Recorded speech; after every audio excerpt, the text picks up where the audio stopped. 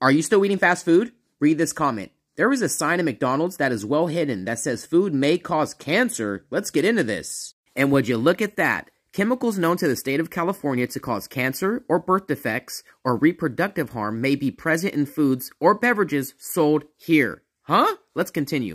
But hold on, it gets better. See, if you're not in California and you go try to look for one of these cancer warning signs, guess what, guys? You won't find it. That's because California made it an actual law for all McDonald's restaurants to post all the foods that may cause cancer.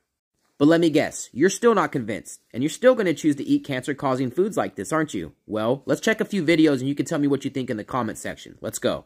World's oldest hamburger. Utah David Whipple has kept this hamburger in this hamburger tin since, get this, the 1990s. July 7th, 1999. There's the sack that it came in. That was the wrapper it was in. And that's disintegrating more than the hamburger is, probably. There it is. My gosh. It hasn't changed. The pickle's the only thing that's disintegrated. This is actually the receipt. I had to put it in plastic. It was just going to be gone. Do you want to smell it?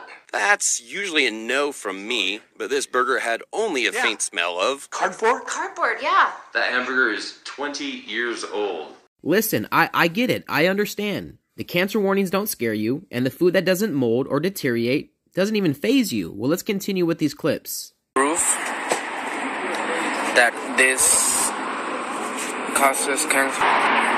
No, open it. Open it. Whoa, look, right there.